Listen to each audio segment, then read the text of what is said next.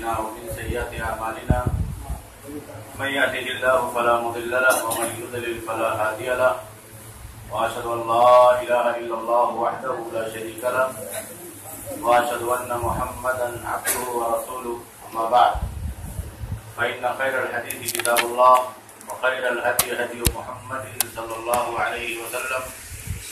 وشر الأمور محدثاتها وكل محدثة بدعة وكل بدعة ضلالة وكل ضلالة في النار. قال الله تبارك وتعالى في كلامه المجيد أعوذ بالله من الشيطان الرجيم. بسم الله الرحمن الرحيم. هو الذي بعث في الأميين رسولا منهم يتلو عليهم آياته ويزكيهم ويعلمهم الكتاب والحكمة وإن كانوا من قبل لفي ضلال مبين.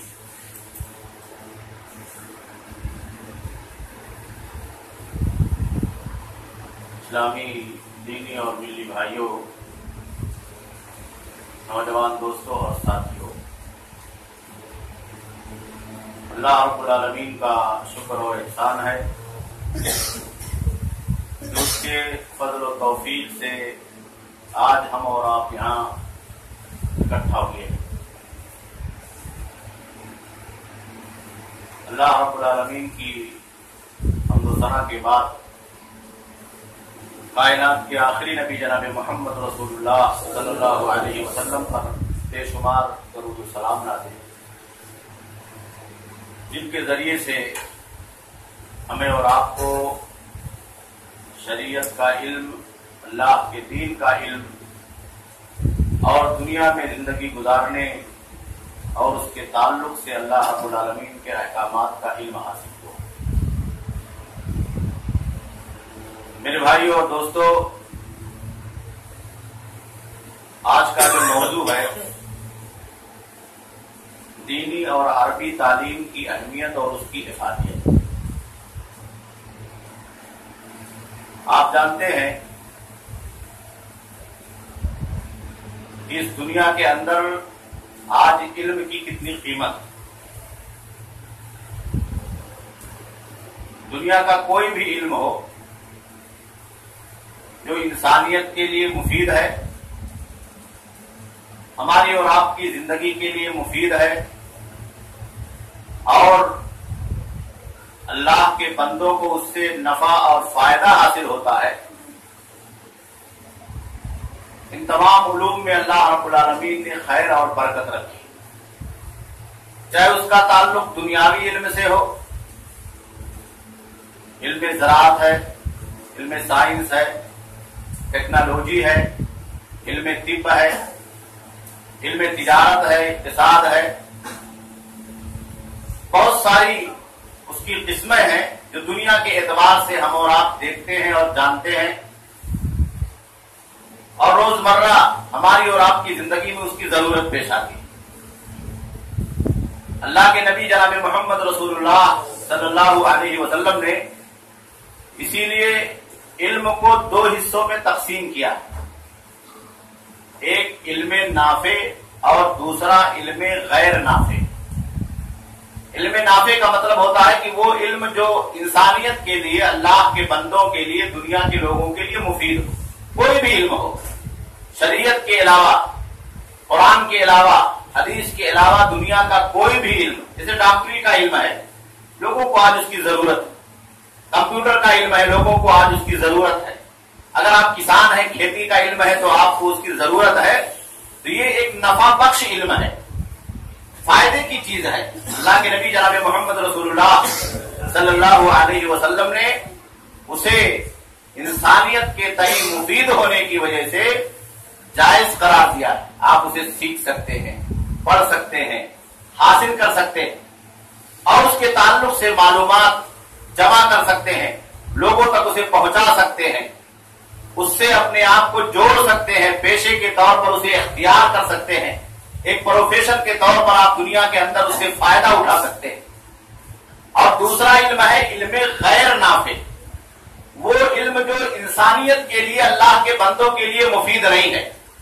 بہت سارے ایسے علوم ہیں جو اس دنیا کے اندر اللہ کے بندوں کے لیے افادیت کے بجائے نقصان کا فتنے کا اور اسی طریقے سے اللہ رب العالمین کے بتائے ہوئے اس سرات مستقیم کو چھوڑ کر ضلالت اور گمراہی تک پہنچنے کا راستہ ہے جن سے اللہ کے نبی صلی اللہ علیہ وسلم نے منع فرمایا جیسے آج علم نجوم ہے۔ نجومی آپ سنتے ہیں اخباروں کے اندر کی بہت سارے لوگ پیشین گوئیاں کرتے ہاتھ دیکھ کر کے اس کی لکیریں دیکھ کر کے آپ کے مستقبل کے بارے میں آپ کو بتاتے انہیں خود اپنے مستقبل کے بارے میں علم نہیں ہوتا ہے۔ ایک روڈ پر بیٹھا ہوا آدمی، دکان سجائے ہوا ایک آدمی، اپنے مستقبل کے بارے میں اسے اس کچھ پتا نہیں ہے۔ وہ بنگال سے آیا ہوا ہے، کلکتہ سے آیا ہوا ہے، دلی سے آیا ہوا ہے، یو پی سے آیا ہوا ہے۔ در در کی ٹھوکریں کھا رہا ہے، اسے اپنی روزی کا پتا نہیں ہے۔ اپنے فیوچر کا پتا نہیں، اپنے بچوں کے مستقبل کا پتا نہیں۔ اگر پتا ہوتا تو وہ گھر چھوڑ کر کے کیوں آتا؟ اپنی زندگی کو اپنے گھر پر، اپنے وطن پر ہی جنت بنا لیتا۔ لیکن وہ یہاں پیسے لے کر کے آپ کے مستقبل کی خبر دے رہا ہے۔ پیشین گوئیاں کر رہا ہے، لکیریں دیکھ کر کے آپ کا فیوچر بتا رہا آپ کی زندگی کیسے ہوگی، کس طریقے سے آپ اسے سنوار سکتے یہ انسانیت کے لیے نفع پہنچانے والا علم نہیں۔ یہ لوگوں کے ایمان کے ساتھ ان کی جیب پر ڈاکہ ڈالنے والا علم ہے۔ لوگوں کو گمراہی تک پہنچانے والا علم ہے۔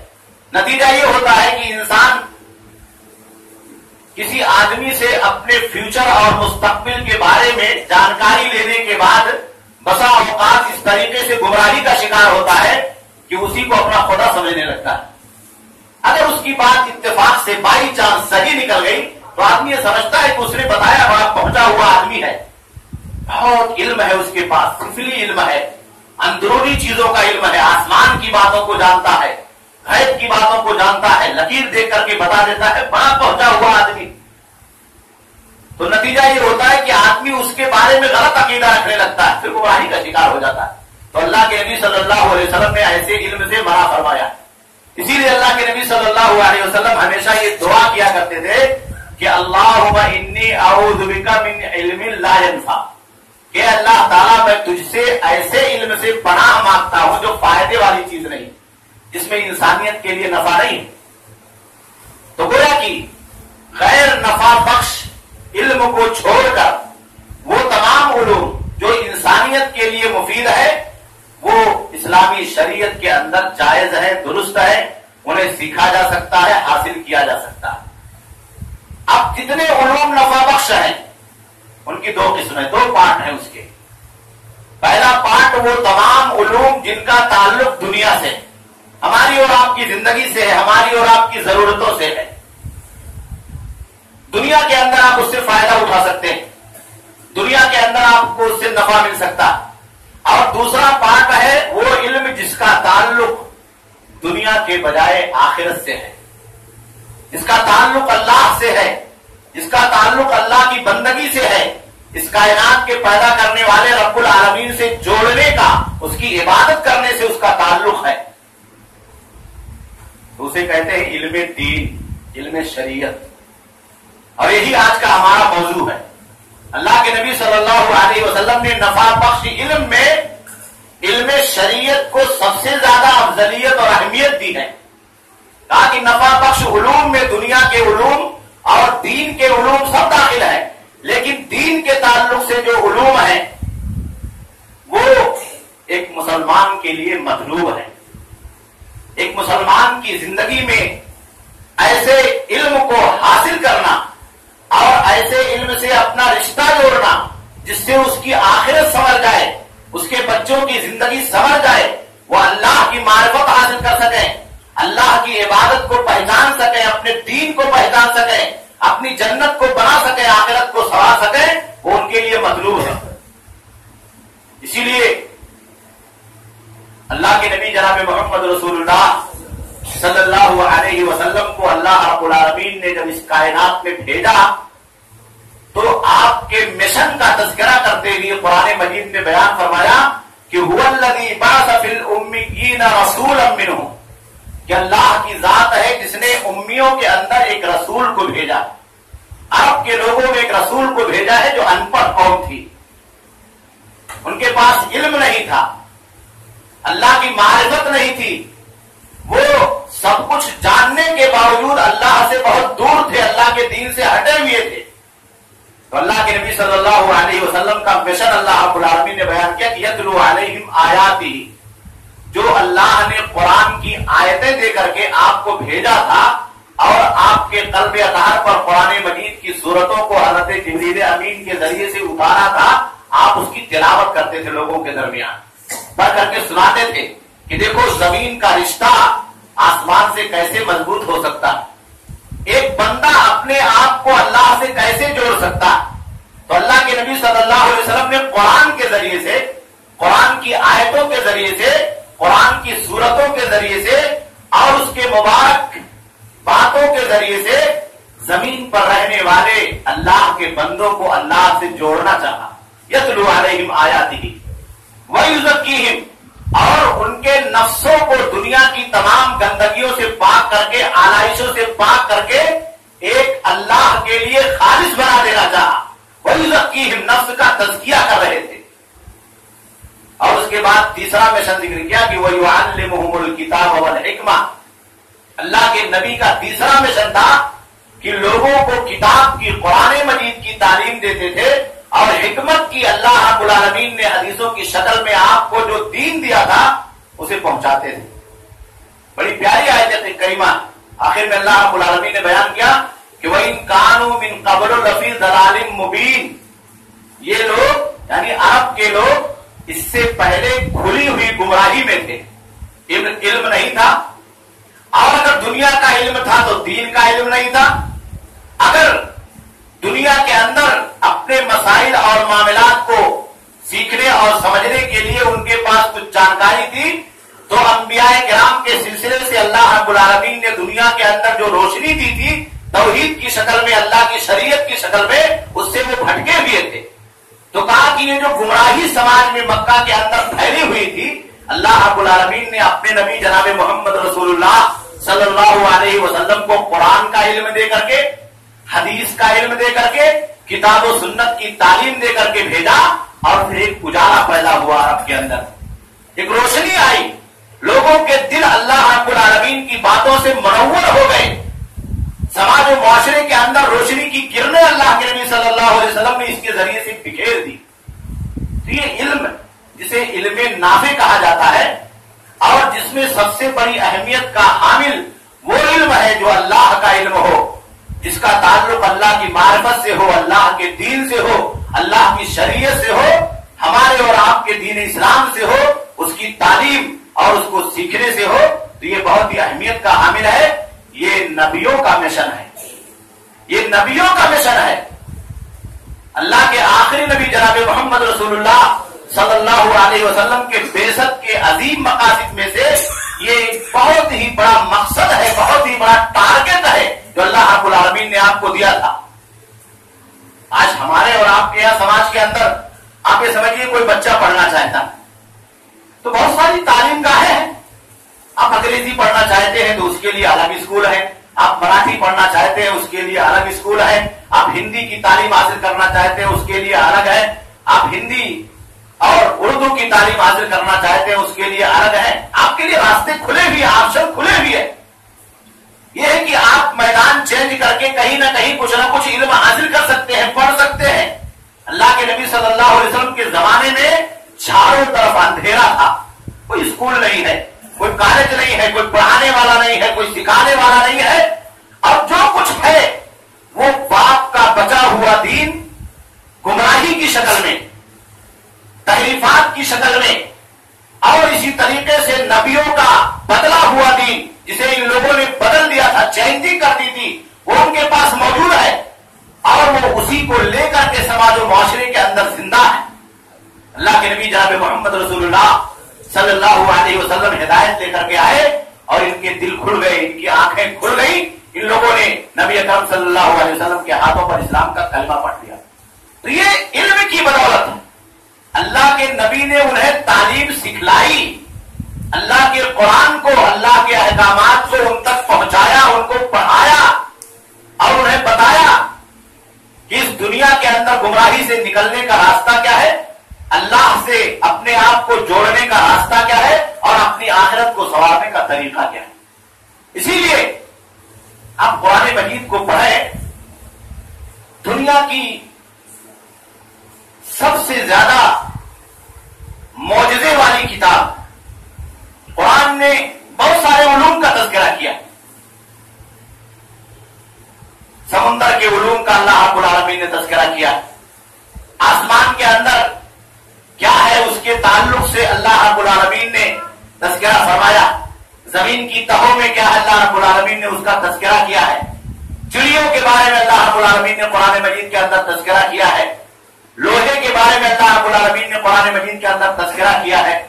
بہت سارے علوم کا اللہ رب العالمین نے تذکرہ کیا۔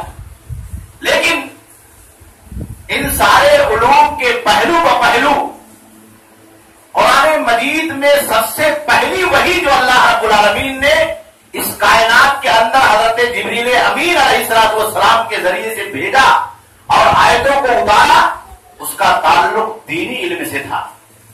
اس کا تعلق اللہ کی شریعت سے تھا، اس کا تعلق اللہ کی معرفت سے تھا۔ اور یہی ہماری اور آپ کی زندگی کے لیے بہت بنیادی امپورٹنٹ اور ضروری چیز ہے کہ ہم اور آپ اس کو سیکھ لیں۔ اللہ رب العالمین نے پہلے نماز کی تعلیم نہیں دی، پہلے دنیا کے اندر کھانے اور جینے کی تعلیم نہیں دی، روزی کیسے کماؤ گے زندگی کیسے گزارو گے اس دنیا کے اندر پہلے آپ کو حج کرنے کا اللہ رب العالمین نے حکم نہیں عطا فرمایا، شادی بیاہ کرنے کا حکم نہیں عطا فرمایا ہے۔ سب سے پہلے قرآن مجید نے جس چیز کا حکم عطا فرمایا ہے، وہ ایک ایسی بنیادی چیز ہے جو زندگی کے اندر ہمارے اور آپ کے لیے راہوں کو کھول دیتا۔ اس کا نام ہے علم، اس کا نام ہے پڑھنا، لکھنا۔ اللہ رب العالمین نے کہا کہ یہ کرا اس میں رب الذی خلق۔ پہلی آئے وہی کی شکل میں حضرت جبریل امین اس کائنات میں لے کر کے آتے ہیں، تو وہ تعلیم کے سلسلے میں ہوتا۔ اللہ کی معرفت تک پہنچنے والے اس عظیم الشان راستے کے بارے میں ہوتا ہے، جسے ہم اور آپ علم دین کہتے ہیں۔ ہاں کیا ہے نبی محترم صلی اللہ علیہ وسلم اقرا بسم ربک الذی خلق۔ اپنے اس رب کا نام لے کر کے آپ پڑھیے، پڑھنا شروع کیجیے، جس نے آپ کو پیدا کیا ہے۔ خلق الانسان من علق۔ اقرا وربک الاکرم پھر دوبارہ اللہ رب العالمین نے دہرایا۔ کہ آپ پڑھیے آپ کا رب بہت ہی باعزت ہے، بہت ہی کریم ہے۔ اللہ علم بالقلم، کہا جس نے قلم کے ذریعے سے لوگوں کو پڑھنا سکھایا ہے، تعلیم دی۔ اب دیکھیے اللہ رب العالمین نے ان آیتوں کے اندر کس طریقے سے اقرا کے ذریعے سے تعلیم کا پڑھائی کا ذکر کیا۔ اور لفظ قلم کے ذریعے سے اللہ رب العالمین نے لکھائی کا ذکر فرمایا۔ پڑھائی اور لکھائی۔ پڑھنا اور لکھنا، یہ دونوں ایک دوسرے سے جڑے ہوئے آپ اسے الگ نہیں کر سکتے۔ آپ اگر چاہیں کہ بیٹے لکھے بھی ہم پڑھ لیں، کچھ ہوم ورک نہ کرنا پڑے، بچے اسکول میں جاتے ہوئے کچھ تیار نہ کرنا پڑے، اپنے سبجیکٹ کے بارے میں کچھ لکھنا نہ پڑے تو ہو نہیں سکتا۔ آپ اگر چاہیں کہ آپ صرف لکھیں رائٹنگ کر کے کچھ حاصل کر لیں اور پڑھے نا تو آپ کچھ نہیں کر سکتے۔ اللہ رب العالمین نے بنیادی طور پر دونوں باتوں کا ذکر کیا کہ انسان کی زندگی یہیں سے شروع ہونی چاہیے۔ ایک بچہ دنیا کے اندر پیدا ہوتا ہے اور اس کے بعد وہ اپنی زندگی کے اندر چار پانچ سال کی عمر کو پہنچ جاتا ہے، کچھ سمجھنے بوجھنے لگتا ہے، تمیز کی صلاحیت پیدا ہو جاتی ہے۔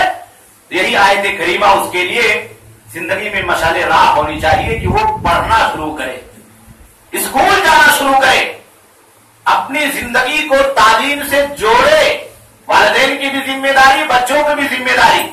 سرپرستوں کی گارجینس کی بھی ذمہ داری ہے، گھر کے لوگوں کی بھی ذمہ داری اب یہاں اس کو لگائیں۔ اور اگر دینی تعلیم کے راستے میں آپ لگاتے ہیں تو نور والا نور ہے۔ یہ اللہ کی طرف سے آپ کے لیے، آپ کے گھر کے لیے اور گھر کے تمام افراد کے لیے ایک بہت بڑی رحمت اور برکت کی چیز۔ کہ آپ نے اسے حضرت جبریل امین کے ذریعے سے لائے ہوئے سب سے پہلی وہی اقرا کے ساتھ جوڑ دیا۔ اقرا اس میں ربک الذی خلق۔ اس راستے پر ڈال دیا ہے جو راستہ اس بچے کی زندگی کو اللہ کے نبی جناب محمد رسول اللہ صلی اللہ علیہ وسلم تک پہنچاتا ہے۔ حضرت جبریل امین کی لائی ہوئی وہی تک پہنچاتا ہے اور ان دونوں کے واسطے سے اللہ رب العالمین تک پہنچاتا ہے۔ اللہ کی ذات تک پہنچاتا ہے، اللہ کی معرفت اور اس کی عبادت تک پہنچاتا ہے۔ اسی لیے اللہ رب العالمین نے قرآن مجید کے اندر تذکرہ فرمایا دو چیزوں کے ذریعے سے، بلکہ تین چیزوں کے ذریعے سے انسان کو اللہ رب العالمین دنیا کے اندر بلند کرتا۔ یرفع اللہ الذین آمنوا منکم والذین اوتوا العلم درجات۔ کہ دنیا کے اندر اگر بڑا رتبہ چاہیے، بلند مقام چاہیے، تو تین باتیں ہیں، تین راستے ہیں۔ پہلی چیز یہ ہے کہ ایمان لے آؤ۔ ایمان انسان کے اندر اگر نیکی پیدا ہو جائے، تو میں یہ سمجھتا ہوں کہ اگر آپ کا دشمن بھی ہے، تو ایک وقت وہ آپ کی تعریف کرنے کے لیے، آپ کو درجہ دینے کے لیے مجبور ہے۔ آپ اچھے نوازی ہیں۔ آپ اچھے سماج کے اندر لوگوں کے ساتھ ویوہار رکھنے والے ہیں، سوشل کام کرنے والے، نیکی کرنے والے ہیں۔ آپ کا دھرم کچھ بھی ہو، آپ کی زندگی کچھ بھی ہو، لیکن جہاں اس چیز کی ضرورت پیش آتی ہے، آپ کی نیکی کی وجہ سے لوگ آپ کو آگے بڑھاتے ہیں۔ کہتے ہیں، اس کام کے لیے اسی کو بلاؤ۔ وہ نہیں چاہتا ہے۔ آپ کے ساتھ اٹھنا نہیں چاہتا، بیٹھنا نہیں چاہتا۔ لیکن آپ کا جو پیشہ ہے، آپ کی جو زندگی ہے، آپ کا جو کیریکٹر ہے ایمان کی وجہ سے، نیکیوں کی وجہ سے، سچائی اور اچھائی کی وجہ سے، خیر اور بھلائی کے کام کی وجہ سے، تو اللہ نے وعدہ کیا ہے کہ رتبہ اللہ آپ کو دے گا، تو دنیا کے لوگ آپ کو رتبہ دے رہے اور دینے پر مجبور ہیں۔ اللہ الدین عام منکم کا ایمان ہے، ایمانداری ہے، سچائی ہے، اچھائی ہے، خیر کی زندگی ہے، تو دنیا کے لوگ مانتے دنیا کے لوگ اسے ماننے کے لیے مجبور ہیں۔ کہا کہ اور دوسرے نمبر پر والذین اوتوا العلم، کہا کہ اور وہ لوگ جنہیں علم اللہ رب العالمین نے دیا۔ اب دیکھیے، دنیا کے اندر بہت سارے لوگ ایسے ہیں جو مومن نہیں۔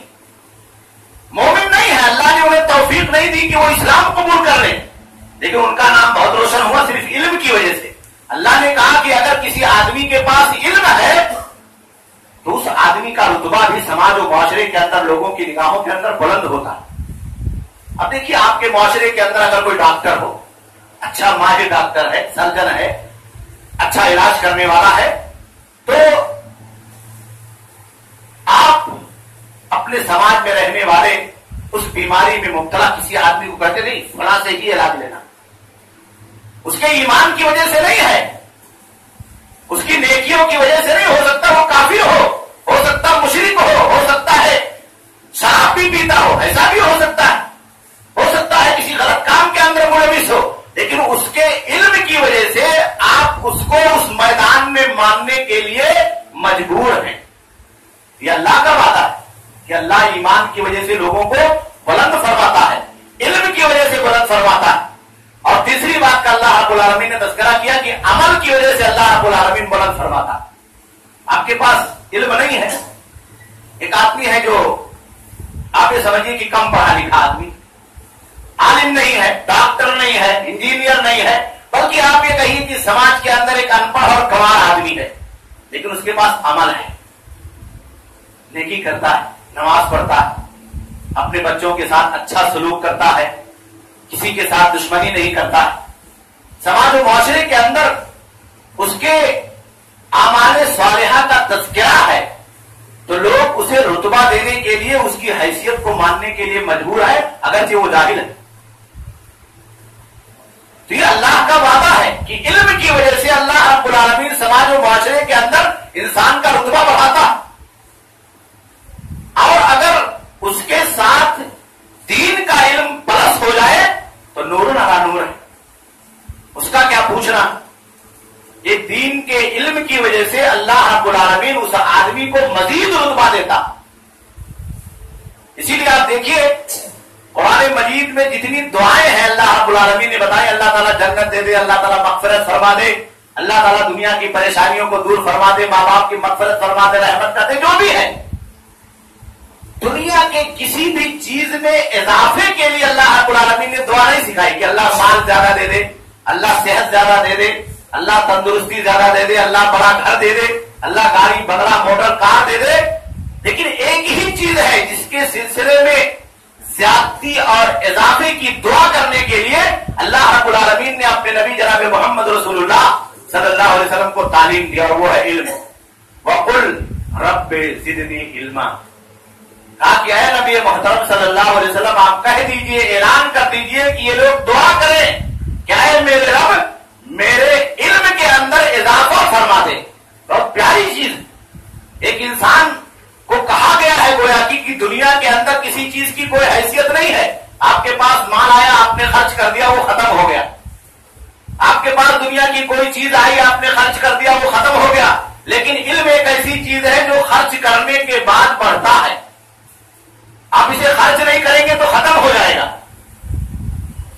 ایک آدمی عالم ہے، اگر وہ اپنے پیشے سے، علم سے جڑا ہوا نہ ہو، بزنس کرنے لگے، تو آپ سوچئے اس آدمی کا حشر کیا ہوگا؟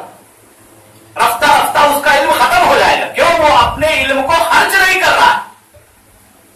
الٹا ہے مال کے۔ مال آپ خرچ کریں گے تو آپ کا جیب ہلکا ہو جائے گا، آپ کا بینک بیلنس کم ہو جائے گا۔ اور علم ایسی چیز ہے کہ اگر آپ خرچ کریں گے تو یہ بڑھتا جائے گا، اس میں اضافہ ہوتا جائے گا۔ اللہ رب العالمین نے کہا کہ مال کے زیادتی کے لیے دعا یا دنیا کے دیگر منفاطوں کے لیے دعا نہیں کرنا۔ صرف علم میں زیادتی کے لیے مسلمان کو دعا کرنا کہ رب جتنی علما۔ اللہ اگر کسی چیز کو بڑھا تو میرے علم کو بڑھا دے۔ اپنی معرفت کے تعلق سے میری جانکاری کو، میری معلومات کو بڑھا دے۔ جو میرے رشتے کو تجھ سے مضبوط بنا سکے اور تجھ سے جوڑ سکے۔ اللہ کے نبی جناب محمد رسول اللہ صلی اللہ علیہ وسلم نے اسی لیے صحابہ کرام کا رشتہ علم سے جوڑا اور علم کا ایک ایسا راستہ جو دین کی شکل میں، شریعت کی شکل میں اللہ رب العالمین نے اتارا تھا، صحابہ کرام کو سکھلایا اور اس کے ذریعے سے ان کی زندگی کے اندر ایک عجیب و غریب تبدیلی پیدا ہوئی۔ میرے بھائیوں میرے دوستو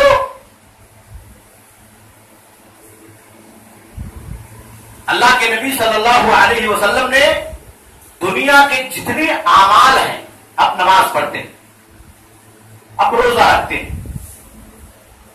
اب اللہ کے راستے میں خرچ کرتے ہیں، اب لوگوں کے ساتھ اچھا سلوک کرتے ہیں، غریبوں کی، یتیموں کی، بیواؤں کی مدد کرتے تمام نیکی کے کام۔ ان تمام نیکی کے کام میں یہاں تک کہ وہ تمام اعمال جن کا تعلق عبادت سے ہے اللہ کے نبی صلی اللہ علیہ وسلم نے علم کو اس سے بھی افضل کرا دیا۔ اس سے بھی افضل کرا دیا۔ ایک حدیث کے اندر اللہ کے نبی جناب محمد رسول اللہ صلی اللہ علیہ وسلم نے بیان فرمایا، جسے حضرت عائشہ رضی اللہ تعالیٰ روایت کرتی ہے القبرا البحتی کی روایت ہے، جو صحیح صنعت کے ساتھ مروی ہے۔ کہتی ہے کہ ایک دفعہ اللہ کے نبی صلی اللہ علیہ وسلم نے بیان فرمایا کہ اللہ تعالیٰ نے میرے پاس وہی کی کیا وہی کی ہے؟ من سلک مسلکن فی طلب العلم سحلت له طریقا الى الجنہ۔ کہ اگر کوئی آدمی علم دین کو حاصل کرنے کے راستے پر اپنے آپ کو لگاتا، اب مسجد میں آ رہے کوئی پروگرام ہے، اس سے اپنے آپ کو جوڑ رہے آپ کسی جگہ مدرسہ ہے، کوئی جگہ ہے جہاں دین سکھایا جا رہا ہے، وہاں جا رہے ہیں۔ قرآن پڑھنا سیکھ رہے ہیں۔ دین کے احکامات کو سیکھ رہے ہیں، حدیثوں کو سیکھ رہے ہیں۔ نماز کیسے پڑھی جاتی ہے، اس کو سیکھ رہے ہیں۔ شریعت میں شادی بیاہ کا طریقہ کیا ہے، اس کو سیکھ رہے ہیں۔ قرآن کی تلاوت کیسے کی جاتی ہے، اس کو سیکھ رہے ہیں۔ روزہ کیسے رکھا جاتا ہے، اس کو سیکھ رہے ہیں۔ تو اللہ کے نبی نے کہا سہل تو لہو طریق الجنہ میں ایسے آدمی کے لیے جنت کا راستہ آسان کر دیتا ہوں۔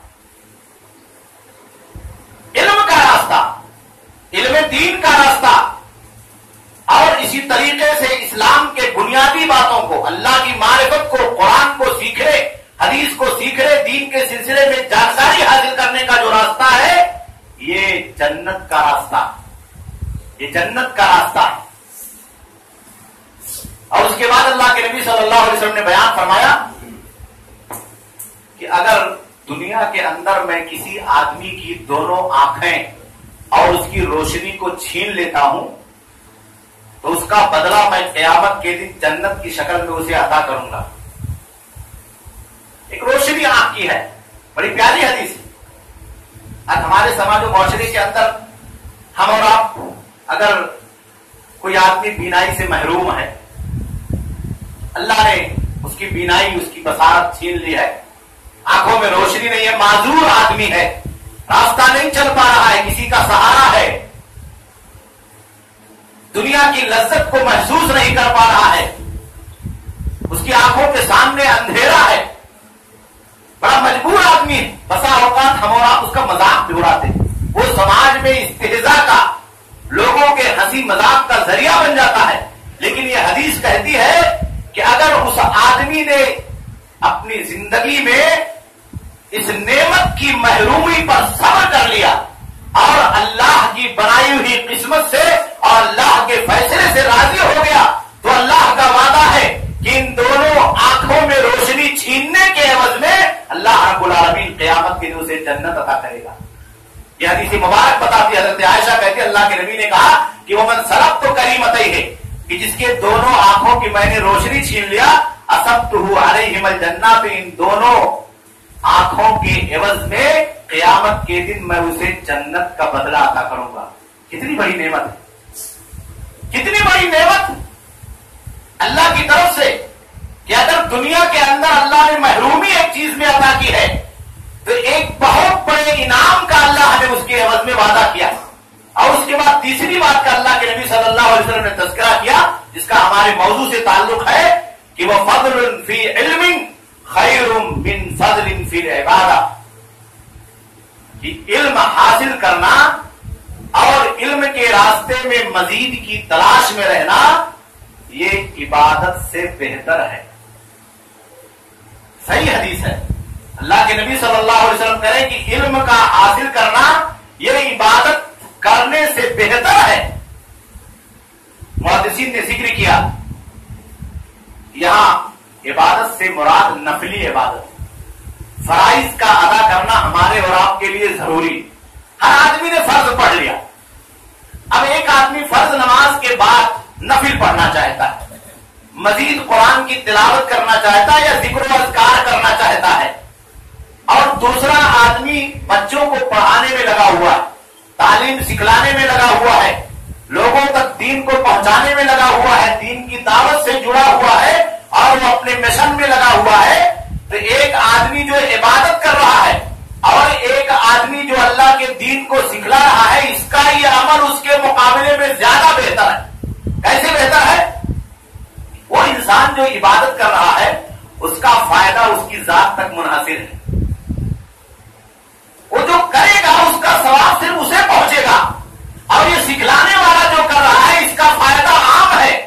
یہ قوم کو فائدہ پہنچ رہا ہے، محلے کے بچوں کو فائدہ پہنچ رہا ہے، پڑھنے والے اسٹوڈنٹ کو فائدہ پہنچ رہا ہے۔ یہاں جو حاضر ہیں، ان لوگوں کو فائدہ پہنچ رہا ہے۔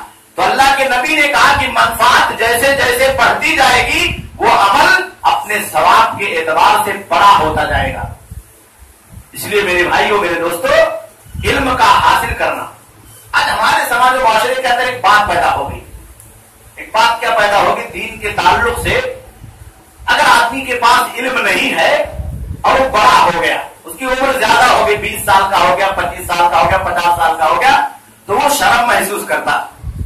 میرے بھائیوں میرے دوستوں شرم کی بات نہیں۔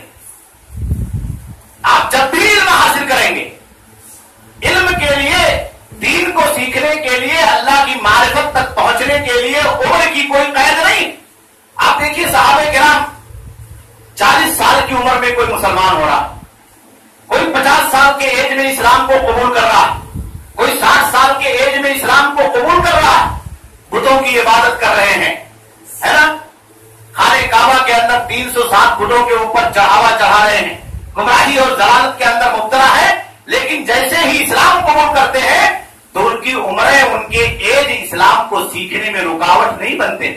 وہ اللہ کے نبی جناب محمد رسول اللہ صلی اللہ علیہ وسلم کی مجلس میں مسجد نبی کے اندر حاضر ہوتے ہیں اور اللہ کے نبی صلی اللہ علیہ وسلم سے نماز کے بعد ہونے والی دین کی باتوں کو سیکھتے ہیں، آپ سے پوچھتے ہیں۔ کوئی پریشانی ہوگی تو بھاگتے ہوئے اللہ کے نبی کے دربار میں آتے کہ اللہ کے نبی صلی اللہ علیہ وسلم یہ مسئلہ ہے۔ میں کیا کروں؟ کیسے زندگی گزاروں؟ اس مسئلے کا حل کیا ہوگا؟ حضرت عمر ابن خطاب رضی اللہ تعالیٰ جیسا جلیل القدر صحابی۔ مسلمان ہو گئے، تجارت پیشہ تھے، ٹائم نہیں تھا کہ اللہ کے نبی صلی اللہ علیہ وسلم کی مجلس میں روزانہ حاضری دے سکے عمر بڑی ہے، بچے ہیں، خاندان ہے، بیویاں ہیں۔ دنیا کی ضروریات ہے تجارت کر رہے ہیں۔ لیکن دیکھیے کیسے علم حاصل کرتے ہیں۔ ایک انصاری صحابی جو آپ کا پارٹنر ہے۔ وہ بھی بڑی عمر کا۔ اپنے انصاری صحابی سے کہتے ہیں کہ ہم لوگوں کی کتنی بڑی محرومی ہے کیا وہ حیرا اور دیگر صحابہ کرام جو صفا کے چبوترے پر بیٹھے ہوئے ہیں، اور رات دن اللہ کے نبی جناب محمد رسول اللہ صلی اللہ علیہ وسلم کے علم کی مجلسوں میں شریک ہوتے ہیں، ان کے سینے علم کی نور سے بھرے جا رہے ہیں۔ اور ہم دنیا کے اندر تجارت کرنے کے لیے، کھجوروں کو بیچنے کے لیے ویوپار کرنے کے لیے مارکیٹ مارکیٹ پھر رہے ہیں۔ دیکھو، ایسا کرو کہ زیادہ ٹائم تو ہم نہیں دے سکتے ہیں۔ ایک دن تم باری لگا لو، ایک دن میں باری لگا لیتا ہوں۔ تم تجارت پر جاؤ گے تو میں اللہ کے نبی کی مجلس میں حاضر رہوں گا۔ جب شام کو لوٹ کر کے بزنس کر کے آؤ گے تو جو کچھ میں نے سیکھا ہے، دھندے میں نفع لینے کے ساتھ اللہ کے نبی کی باتوں کو تمہیں دے دوں گا۔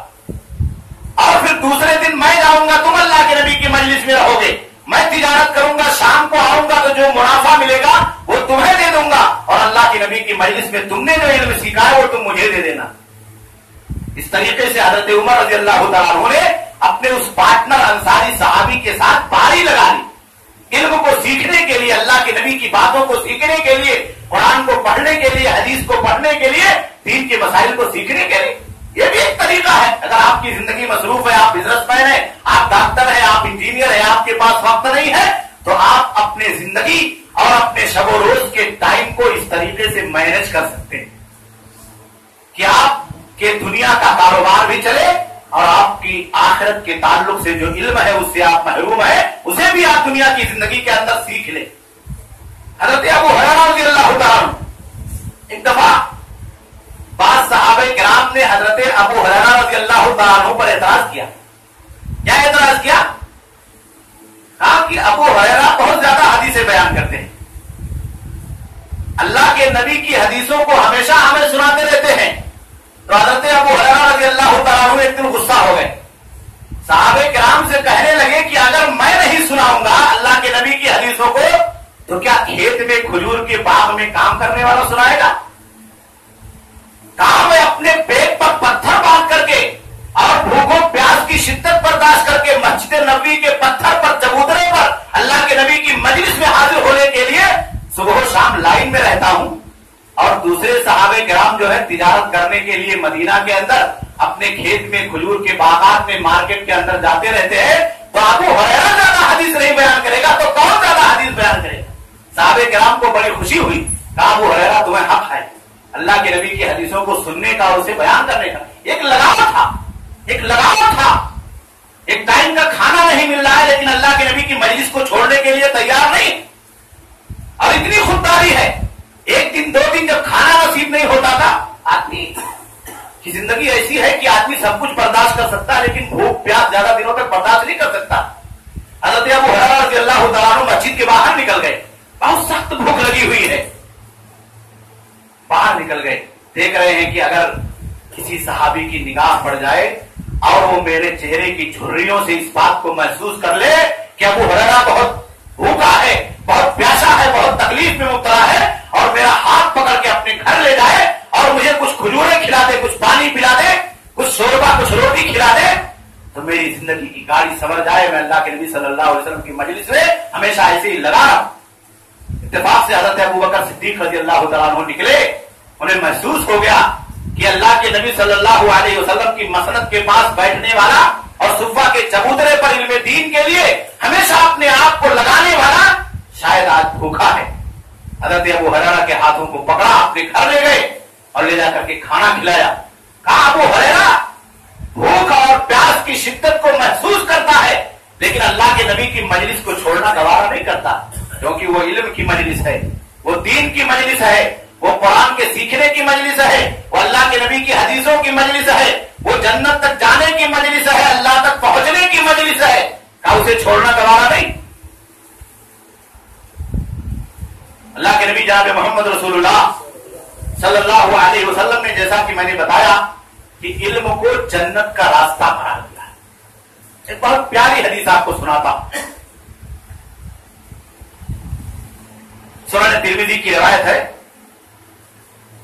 حضرت قیس ابن کثیر ایک پورا واقعہ بیان کرتے ہیں اور اس واقعے کے پس منظر میں حدیث بیان کرتے ہیں۔ اور بڑی پیاری حدیث ہے۔ دنیا کے تمام نیکیوں کی فضیلت اللہ رب العالمین نے علم کے ترازو میں ڈال دیا ہے۔ علم دین کے ترازو میں ڈال دیا ہے۔ ان لوگوں کے جو علم دین کو حاصل کرنے کے لیے دنیا کے اندر اپنے آپ کو لگائے رہتے ایسے کثیر کہتے ہیں ایک آدمی مدینہ سے چل کر کے حضرت ابو دردہ رضی اللہ تعالیٰ کی خدمت میں دمشق میں آئے۔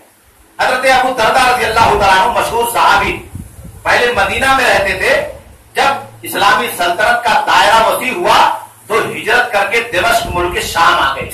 یہاں لوگوں کو اللہ کے نبی کی حدیثیں سنانے لگے۔ آپ دیکھیے کتنا جذبہ لوگوں کے اندر تھا دین کو سیکھنے کا۔ مدینہ کے اندر جو صحابی ہے انہیں یہ معلوم ہوا کہ ایک حدیث جو علم کی فضیلت کے بارے میں ہے، اس حدیث کو ڈائریکٹ اللہ کے نبی صلی اللہ علیہ وسلم سے سننے والے صحابہ کرام میں صرف ابو دردہ موجود ہے اور وہ مدینہ سے بہت دور دمش کے اندر رہتے ہیں۔ انہیں اس حدیث کو سیکھنے کی تمنا ہوئی طرف پیدا ہوئی۔ تو کہا کہ حدیث تو سنانے والے بہت ہیں۔ لیکن ابو دردار رضی اللہ تعالیٰ نے اس حدیث کو ڈائریکٹ اللہ کے نبی صلی اللہ علیہ وسلم کی زبان مبارک سے سنا ہے۔ اس لیے میں ابو دردا کی خدمت میں سفر کر کے ان کے در پر حاضر ہو کر کے اس حدیث کو سننا چاہتا ہوں۔ سفر کر کے۔ ہمارے خیال سے مدینہ سے دمشق، آپ یہ سمجھیے اس زمانے میں کم سے کم اونٹ کے سفر سے ایک مہینے کی مسافت کی دوری پر تھا۔ یعنی اگر آدمی اونٹ سے جائے تو ایک مہینے سے زیادہ وقت لگ جائے سفر میں۔ رات اور دن کی مشقت ہے، پہاڑوں کا سفر ہے، سیرائی راستہ ہے، لیکن طرف ہے علم کو سیکھنے کی، اللہ کے نبی کی حدیثوں کو پڑھنے کی، دین کو جاننے کی، یہ صحابی مدینہ سے چلتے چلتے دمشق میں حضرت ابو دردہ رضی اللہ تعالیٰ کی مجلس میں پہنچ گئے۔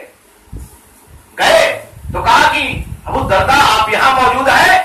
مجھے خبر لگی ہے کہ اللہ کے نبی صلی اللہ علیہ وسلم کی ایک حدیث آپ کے پاس موجود ہے۔ میں وہی حدیث سننے کے لیے آیا ہوں، سیکھنے کے لیے آیا حضرت ابو دردا رضی اللہ تعالیٰ کو بہت تعجب ہوا۔ یہاں تک کہ حضرت ابو دردا رضی اللہ تعالیٰ نے اس صحابی سے پوچھا جو سفر کر کے گئے تھے کہ اما جیتا لحاظ کہ بھائی کسی اور ضرورت سے تو نہیں آئے ہو؟ کہ کسی کام سے آئے ہو اور خبر لگی ہو کہ ابو دردا یہاں ہے تو چلو تھوڑا حدیث بھی سیکھ لیں گے کہا نہیں۔ کوئی ضرورت نہیں ہے۔ خالص اسی حدیث کو سیکھنے کے لیے میں نیت کر کے مدینہ سے سفر کر کے چلا۔ تو پھر ابو دادا رضی اللہ تعالیٰ نے پوچھا کہ آما جیتا نے تجارا کہا کیا بھائی کوئی بزنس دھندا کرنے کے لیے دمشق نہیں آئے کچھ مال مال لے کے آئے ہو مدینہ سے؟ یہاں لے کے جانا ہو تو کہا چلو مال کا بھی کام ہو جائے گا، بزنس کا بھی کام ہو جائے گا، سودا بھی خرید لیں گے، بیچ بھی لیں گے اور وہاں ابو دردا موجود ہے، ان سے جا کر کے شام کو کوئی ٹیوشن بھی لے لیں گے، کچھ حدیث بھی پڑھ لیں گے؟ کہا نہیں۔ کہا نہ تجارت مقصد ہے۔ نہ دنیا کی اور کوئی غرض ہے، کوئی اور ضرورت ہے۔ میں صرف خالص نیت سے اللہ کے نبی کی اس حدیث کو سیکھنے کے لیے، سننے کے لیے آیا ہوں۔ حضرت ابو رضی اللہ تعالیٰ نے اس حدیث کو سنایا۔ کہتے ہیں، فَإِنِّي سَمِعْتُ رسول اللہ صلی اللہ علیہ وسلم۔ کہ میں نے اپنے کانوں سے اللہ کے نبی صلی اللہ علیہ وسلم کو فرماتے ہوئے سنا۔ اللہ کے نبی نے فرمایا، آپ بول رہے تھے۔ آپ کی زبان گویا تھی، آپ بیان کر رہے تھے اور ابو دردا کے کانوں میں اللہ کے نبی کی آواز آ رہی تھی۔ کیا آ رہی تھی؟ کامن سلک طریقن یلتمی سلک اللہ لہو بھی طریقن الجنہ. جس نیت سے وہ آئے تھے، ابو دردا نے وہی حدیث سنا دی۔ کہا، میں اسی نیت سے آیا ہوں کہ اگر صحیح ہے تو میرا بیڑا پار ہے۔ کہا کہ جو آدمی علم کو تلاش کرنے کے لیے کسی راستے پر چل کر کے جاتا ہے مشکل اٹھاتا ہے۔ صبح و شام پڑھنے کے لیے جاتا ہے ڈیوٹی کرتا ہے اپنا وقت لگاتا ہے۔ قیمتی ٹائم لگاتا ہے، کسی استاد کے پاس حاضری دیتا ہے، کسی مدرس معلم کے پاس بیٹھتا ہے اور صبر کی زندگی گزارتا ہے تاکہ دین سیکھ لے۔ سارا اللہ بھی طریقے جننا تو یہ آدمی اپنے گھر سے نکل کر جتنا چلتے ہوئے جاتا ہے، وہ جنت کا راستہ ہوتا۔ ہے وہ جنت کا راستہ ہوتا ہے جتنا چلتے ہوئے جاتا ہے اپنے معلم کے پاس۔ دین کو سیکھنے کے لیے اللہ کی معرفت کو حاصل کرنے کے لیے اتنی بڑی فضیلت، اتنی بڑی اہمیت علم دین کے حضرت ابو رضی اللہ تعالیٰ نے اس حدیث مبارک کے ذریعے سے ذکر کیا اور اتنا ہی نہیں ذکر کیا کیا دیکھو، اگر اس راستے میں لگ گئے بہت پیارا راستہ، بہت پیارا راستہ، آپ یہ نہ سمجھے آج ہمارے یہاں کیا بن گیا نا؟ یہ مولوی، اس کی ایک کیٹیگری یہ حافظین ہے نا؟ یہ عالم صاحب ہیں۔ نہیں، میرے بھائیوں میرے دوست ہم نے بانٹ دیا ہے، یہ بٹوارا ہم نے کر دیا۔ علم دین کے اندر کوئی بٹوارا نہیں ہے، یہ حاجی صاحب سیکھ رہے ہیں، یہ نمازی سیکھ رہے ہیں، یہ بزنس کرنے والے سیکھ رہے ہیں، سب کے لیے وہی فضیلت ہے۔ اگر آپ اس راستے پر چلے جا رہے ہیں، اپنے آپ کو اس راستے پر لگائے ہوئے۔ کہا کہ وہ ان ملائی کا تھا علم کہا کہ اس راستے میں اگر کوئی آدمی اپنے آپ کو لگاتا ہے تو اللہ تعالی کی اتنی رضامندی اسے حاصل ہوتی ہے۔ اللہ کی اتنی خوشی اسے حاصل ہوتی ہے، اتنی بشارتیں حاصل ہوتی ہے کہ اللہ رب العالمین اپنے فرشتوں کو زمین پر اتارتا ہے کہ علم دین کے راستے میں چلنے والے اس طالب علم کا پیر زمین پر نہیں پڑنا چاہیے، فرشتوں کے پروں پر پڑنا چاہیے۔ آپ چاہیں جیسے کسی جگہ اور کوئی آپ کا استقبال کرے ویلکم کرے اور آپ کی آمد سے پہلے آپ کے راستے میں قالینیں بچھا دے، آپ کے راستے میں قیمتی چیزیں ڈال دے۔ آپ وہاں پہنچے تو دیکھیں کہ میرے استقبال کے لیے انہوں نے کتنا بڑا انتظام کر رکھا ہے، کتنا بڑا مینج کر رکھا ہے۔ پھول لگا رکھے ہیں ہار لگا رکھے ہیں، گلدستے سجا رکھے ہیں، قالینیں ڈال رکھی ہے آپ وہاں پہنچ کر کے زمین کو چھوڑ کر کے ان قالینوں کے اوپر چل کر کے جاتے ہیں اور ملاقات کرتے ہیں۔ تو طالب علم کی صرف کتنی بڑی اہمیت ہے۔ کہ وہاں قالین نہیں ہے، وہاں گلدستے پھول ہار نہیں ہے۔ اللہ کی رحمت کے فرشتے اس روئے زمین پر بھیجے جاتے ہیں اور وہ اپنے پروں کو روئے زمین پر بچھا دیتے ہیں۔ یہ قرآن پڑھنے والا یہ دین سیکھنے والا، یہ حدیث کا علم حاصل کرنے والا، یہ نماز کی تعلیم لینے والا یا ارکان اسلام کو سیکھنے والا، یہ قرآن کو اپنی زبان سے سیکھ کر کے ادائیگی کرنے والا فرشتوں کے انہیں پروں پر چلتا اللہ اتنا خوش ہوتا۔ اتنا بڑا انعام کسی کو دنیا کے اندر ملتا۔ ہے ساری نیکیوں کا وعدہ تو اللہ نے آخرت میں دینے کا کیا۔ اور علم کی نیکی کا علم کی برکت اتنی بڑی ہے کہ اللہ نے اس کا انعام اسی دنیا میں دیا۔ آپ کے گھر کا اگر ایک معصوم بچہ پانچ سال کا، چھ سال کا، آٹھ سال کا کسی مدرسے میں، کسی مسجد میں قرآن پڑھنے کے لیے جاتا ہے، تو آپ یہ یقین کریں، یہ یقین کریں کہ وہ زمین پر نہیں چل رہا ہے۔ اللہ کی رحمت کے فرشتے اسے اپنے پروں پر چلا کر کے مسجد تک پہنچا رہے اپنے پروں کو اس کے لیے بچھائے ہوئے وہ ننا منا معصوم، ایسے نہیں ہے جو قرآن کو سیکھا۔ آج ہمارے یہاں کتنا بدلاؤ آ گیا۔ اگر ایک بچہ ہمارا انگلش میڈیم کے اندر پڑھتا ہے، تو ہمارے گھر کے اندر اس کی کتنی اہمیت ہوتی؟ کتنا امپورٹینس ہم اس بچے کو دیتے؟ لیکن ایک بچہ اگر مسجد میں جا کر کے قرآن سیکھتا ہے، عربی زبان سیکھتا ہے عربی کے الفابیٹ سیکھتا ہے، نماز کی تعلیم سیکھتا ہے، دعا سیکھتا ہے، تو ہمارے ہی گھر میں اس کے ساتھ سوتےلا سلوک کیا جاتا ہے کہ نہیں ہے؟ سوتےلا سلوک کیا جاتا ہے میرے بھائی اور میرے دوستوں۔ حالانکہ یہ بچہ جو قرآن پڑھنے کے لیے مسجد میں آتا ہے، اس کے ساتھ اللہ کے فرشتے ہوتے فرشتوں کے پر اس کے لیے پیچھے ہوتے ہیں، لیکن ہم اس کی اہمیت کو نہیں سمجھتے۔ اس کے کپڑے الگ ہیں، نارمل کپڑے ہیں اس کے۔ جو اسکول میں پڑھتا ہے، اس کے اپ ٹو ڈیٹ کپڑے، اچھے کپڑے۔ اچھا لباس ہے۔ اس کے لیے جوتے الگ ہے اس کے لیے جوتے الگ ہے کوالٹی ہے میرے بھائیوں۔ ہم نے بٹوارا کر دیا ہے، سوتیلا سلوک کر دیا۔ وہ بچے جو آج اسکولوں میں جا رہے ہیں، ہمارے گھر کی مائیں اور بہنیں کاجل کریم پاؤڈر لگا کر کے، سوار کر کے، سجا کر کے، بستہ ٹانگ کر کے، پانی کا بوتل لے کر کے، ساری چیزیں بالکل اپ ٹو ڈیٹ بنا کر کے انہیں اسکول لے جاتی۔ اسکول کے گیٹ پہ لے جا کر کے چھوڑتی، ان کا ویلکم کیا جاتا۔ پھر جا کے وہاں سے ریسیو کرتی۔ ایک اہمیت ہوتی ہے اس کی۔ اہمیت دیتی، میرا بچہ ہاں اسکول میں پڑھ رہا میں تعلیم کی مخالفت نہیں کر رہا ہوں، آپ تعلیم دیں، کوئی حرج کی بات نہیں ہے۔ لیکن ہم نے جو سوتےلا شروع کر رکھا، اور وہیں پر اگر سیکنڈ نمبر کا ہمارا لڑکا یا لڑکی کسی مسجد میں جاتی، جا بیٹا، چلے جا جا، چلے جا۔ ذرا راستہ پر بچا کے نکل جانا، گاڑی، موٹر دیکھ کر کے جانا، آرام سے چلے آنا۔ کوئی اسے اسکول چھوڑنے والا نہیں، مسجد چھوڑنے والا نہیں ہے۔ کوئی اسے مدرسے تک پہنچانے والا نہیں ہے۔ کوئی اسے استاذ کے پاس پہنچانے والا نہیں ہے۔ کوئی اس کی اہمیت نہیں۔ اب دیکھیے اللہ کے نبی صلی اللہ علیہ وسلم کیا کہہ رہے اس کی کتنی اہمیت ہے کہ باپ دونوں بیٹوں کے درمیان سوتےلا سلوک کرتا ہے، لیکن اس بچے کے لیے جسے چھوڑ دیتا ہے۔ اللہ کے رحمت کے فرشتے اپنے پروں کو بچھاتے اپنے پروں کو بچھاتے اس پر چل کر جاتا اور صرف یہی نہیں، حضرت ابو دردا کہتے اللہ کے نبی نے کہا کہ اگر یہ پڑھ لیتا ہے، قرآن پڑھنا سیکھ گیا، عربی زبان کے الفابیٹ جان گیا، کچھ دعائیں اس نے یاد کر لی، نماز کا طریقہ اسے آ گیا وضو بنانے کا طریقہ آ گیا، جانکاری حاصل ہو گئی۔ وَإِنَّ الْعَالِمَ يَسْتَغْفِرُ لَهُ مَنْ فِي السَّمَاوَاتِ وَمَنْ فِي الْأَرْضِ۔ تو اس پڑھنے والے طالب علم کے لیے جس نے کچھ علم حاصل کر لیا ہے دین کا، اس کے لیے پورے آسمان میں رہنے والے اللہ کے فرشتے اور دنیا میں رہنے والی اللہ کی تمام مخلوقات مغفرت کی دعا مانگتی۔ اس کا درجہ کتنا بلند ہے۔ یہی شروع ہے حد تک فی بات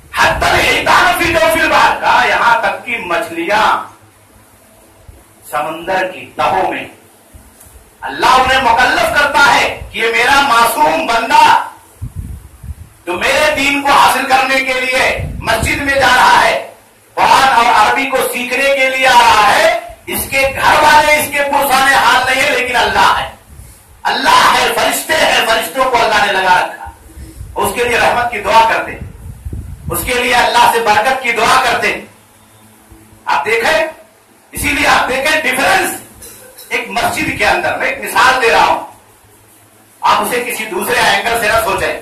ایک مثال دے رہا ہوں، ایک مسجد کے اندر اگر ایک امام صاحب، ہے نا، امامت کروا رہے آپ کے محلے کے اندر بہت ساری مسجدیں کتنی پگار دیتے زیادہ سے زیادہ آٹھ ہزار، سات ہزار، دس ہزار دیتے اب دیکھیں ان کی زندگی کیسے گزرتی۔ پیسوں کی وجہ سے ان کی زندگی نہیں گزرتی ہے، جو علم حاصل کیا ہے۔ اس کی وجہ سے اللہ تعالیٰ انہیں دس ہزار، آٹھ ہزار میں برکت دیتا۔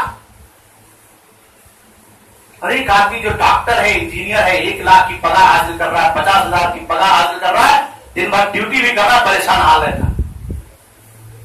نفسیاتی طور پر اسے اتنا اطمینان نہیں حاصل ہوتا ہے، اندرونی طور پر وہ اتنا مطمئن نہیں ہوتا ہے جتنا مسجد کے اندر امامت کرنے والا پانچ ہزار کا، آٹھ ہزار کا، نو ہزار، دس ہزار کا معلم ہوتا یہ دنیا کے اندر آپ خود دیکھ رہے ہیں۔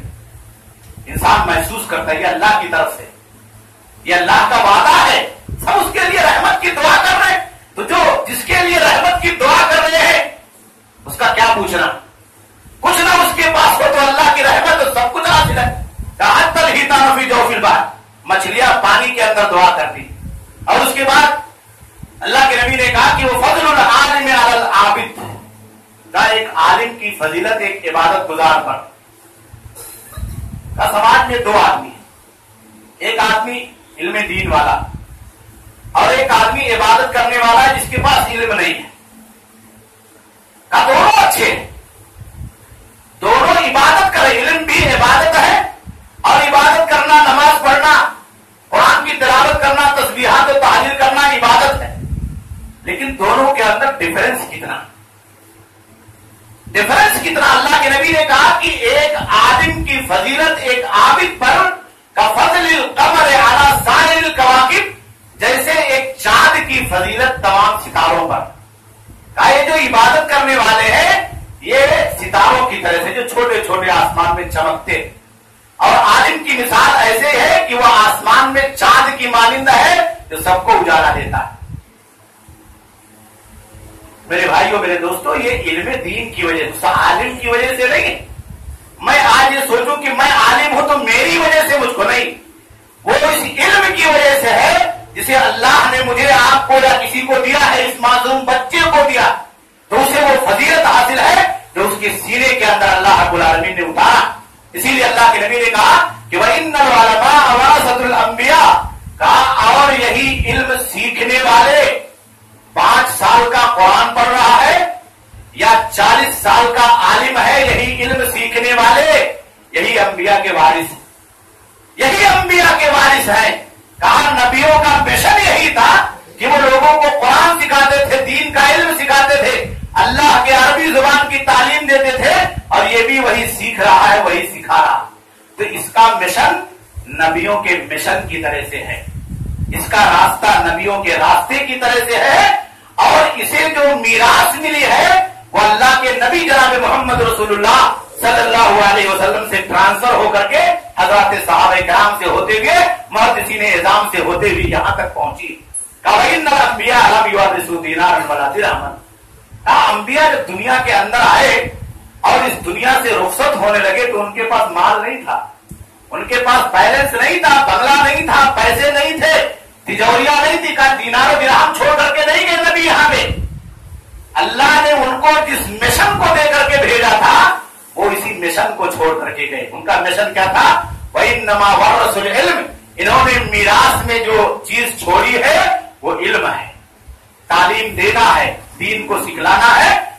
کہا اس کے بعد کامیاب انسان کون ہے؟ فمن اخذ بھی اخذ بحد وافرین جس نے نبیوں کے مشن سے اپنے آپ کو جوڑ لیا اور نبیوں کے میراث علم میں سے اپنا حصہ بنا لیا، تو وہی آدمی کامیاب ہے۔ وہی آدمی کامیاب ہے۔ اللہ کے نبی جناب محمد رسول اللہ صلی اللہ علیہ وسلم نے اسی لیے ایک دوسری حدیث کے اندر بہت کلیئر بیان فرمایا۔ اس میں اللہ کے نبی صلی اللہ علیہ وسلم نے تذکرہ فرمایا سورن ترمیزی کی صحیح روایت۔ کہا کہ وہ آدمی جو لوگوں کو خیر کی تعلیم دیتا ہے، خیر۔ بھلائی، سب سے بڑی بھلائی کیا آپ جانتے ہیں؟ سب سے بڑی نیکی کیا ہے اور سب سے بڑی برائی کیا ہے؟ یہ آپ بتا دیں ہم کو۔ ایک سوال بہت سی نیکی آپ کرتے دنیا کے اندر، سب سے بڑی نیکی کیا ہے اور سب سے بڑی برائی کیا ہے؟ سب سے بڑی نیکی اس کائنات میں اللہ کی توحید ہے۔ یہ سب سے بڑی نیکی۔ توحید لا الہ الا اللہ محمد رسول اللہ کلمہ اور اس کے تقاضے کو آپ نے سیکھ لیا۔ اللہ کی توحید کو صحیح طریقے سے جان لیا۔ اور سب سے بڑی برائی کیا ہے؟ جسے ہم اور آپ کہیں کہ سب سے بڑا پاپ کیا ہے؟ شرک سب سے بڑا پاپ۔ سب سے بڑی نیکی اللہ کی توحید ہے اور سب سے بڑا پاپ شرک ہے۔ اگر آپ توحید کر کرتے ہیں، توحید کو سیکھتے ہیں، توحید پر عمل کرتے ہیں، تو اللہ راضی ہوتا۔ اور اگر آپ شرک کرتے ہیں، تو اللہ اسی کے مقابلے میں اتنی زیادہ ناراض ہوتا ہے۔ دوسری برائیوں سے اتنا ناراض نہیں ہوتا۔ ناراضگی سب میں ہوتی ہے۔ گناہ سب میں ملتا ہے۔ اللہ اتنا ناراض ہوتا ہے، اتنا ناراض ہوتا ہے کہ اسے معاف نہیں کر سکتا ہے۔ اگر مرنے سے پہلے شرک کرنے والے نے اس دنیا کے اندر توبہ نہیں کیا اور اللہ کی طرف سے توبہ کی توفیق اور سعادت حاصل نہیں اللہ کے نبی نے کہا کہ وہ آدمی جو لوگوں کو خیر سکھلاتا، توحید سکھلاتا۔ کہا کہ اس کے لیے اللہ تعالی بھی دعا کرتا۔ دعا کا مطلب یہ ہے کہ اللہ اپنی رحمت اس کے اوپر بھیجتا۔ ان اللہ وہ ملائکت اللہ کے فرشتے بھی اس کے لیے رحمت کی دعا کرتے۔ اس کے بعد کہا کہ وہ ہر سماوات آسمان میں رہنے والی جتنی مخلوق ہے سب دعا کرتی کچھ بچا نہیں۔ وہ آل الارض اور جو زمین میں رہنے والے وہ بھی دعا کرتے۔ وہ بھی دعا کرتے۔ کہا تو فی جوہریا یہاں تک کہ اس دنیا میں اللہ کی سب سے باریک اور چھوٹی مخلوق چونٹی۔ وہ بھی اپنے سوراخ میں دعا کس کے لیے کرتی ہے؟ قرآن اور حدیث سکھلانے والے، خیر کی تعلیم دینے والے انہی لوگوں کے لیے۔ جو سلسلہ حضرت ابو حریرہ رضی اللہ تعالیٰ نے صفا کے چبوترے پر شروع کیا تھا، اور وہ سلسلہ آج تک چلتا ہمارے اور آپ تک دینی تعلیم کی شکل میں، عربی اور شریعت کو سیکھنے کی شکل میں موجود ہے۔ اسی سلسلے کو اللہ کے نبی صلی اللہ علیہ وسلم نے کہا کہ ان کے لیے یہ دعا کرتی ہو تو اور مچھلیاں بھی سمندر کی تہوں کے اندر یوسلونا یوسلونا یہ سب رحمت کی دعا مانگتے ہیں۔ اللہ معلم الناس الخیر وہ انسان جو اللہ کے دین سے جڑا ہوا ہے، یہ حدیث بتاتی ہے کہ اللہ کا وعدہ ہے، بھوکا نہیں رہ سکتا۔ آج ہمارے بچے جو عربی زبان پڑھتے ہیں نا، وہ بھی وہ بھی یہ سوچتے ہیں، ساتھ کمتری کے شکار۔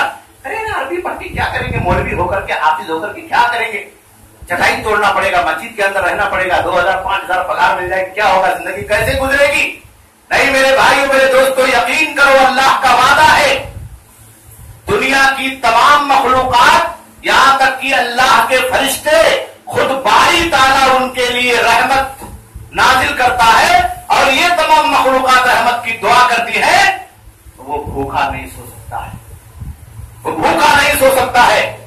اس کے گھر کے اندر پریشانی نہیں آ سکتی ہے، شرط یہ ہے کہ ایمان ہو اللہ پر یقین اور اللہ کے نبی جناب محمد رسول اللہ صلی اللہ علیہ وسلم کی حدیثوں پر یقین ہو۔ اس لیے میرے بھائیوں، میرے دوستوں ہمیں اور آپ کو چاہیے کہ ہم اور آپ اپنے آپ کو اللہ کے دین سے جوڑیں۔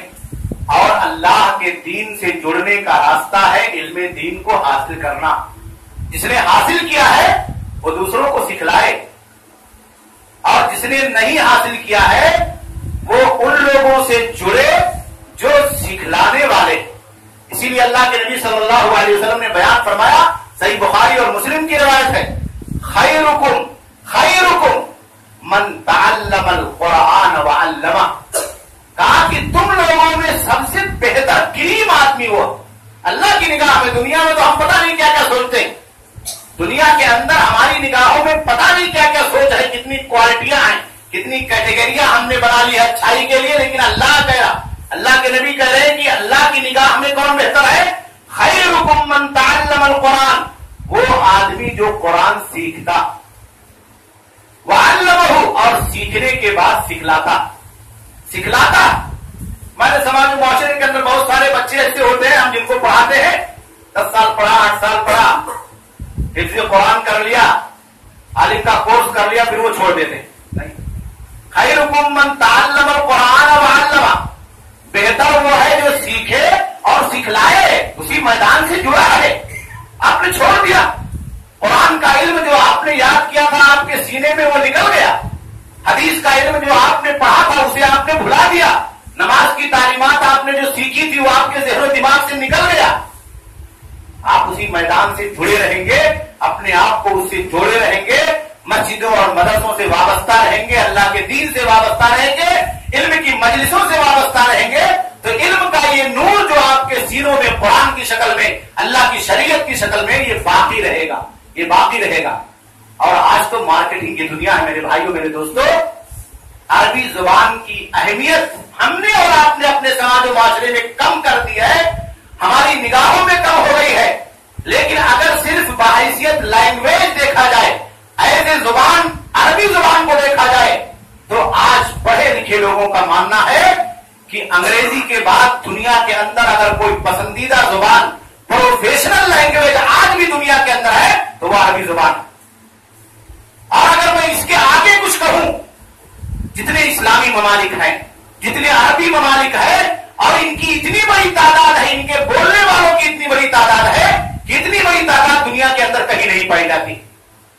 آج عربی پڑھنے والا، عربی لینگویج جاننے والا، عربی زبان سیکھنے والا،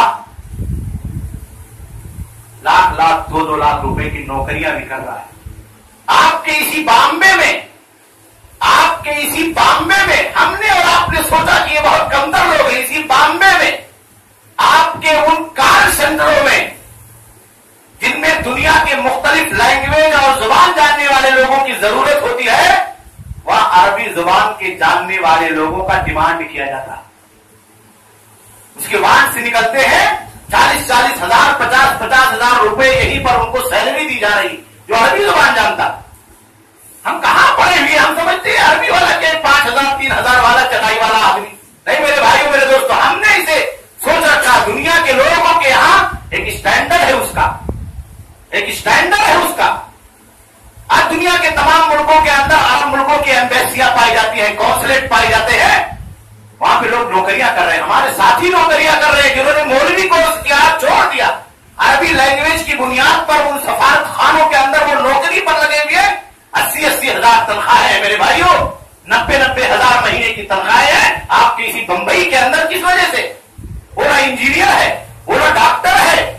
اس کا نہ کوئی پروفیشنل کورس ہے، نہ کمپیوٹر سائنس جانتا ہے، نہ اس کے پاس کوئی ڈگری ہے۔ وہی مدرسے کی ڈگری ہے جو چٹائیوں پر بیٹھ کر کے کال اللہ کالا رسول پڑھ کر کے آیا تھا، عربی جانتا تھا۔ اسی کی بنیاد پر آج آپ کی اسی بامبے میں مختلف ملکوں کے کونسل خانوں میں نوکری کر رہا میرے بھائیوں، میرے دوستوں، اس لیے ہمیں اور آپ کو احساس کمتری کے اندر مبتلا نہیں ہونا چاہیے۔ اس دین کی بڑی قیمت ہے اور اس کے علم کی بڑی قیمت ہے۔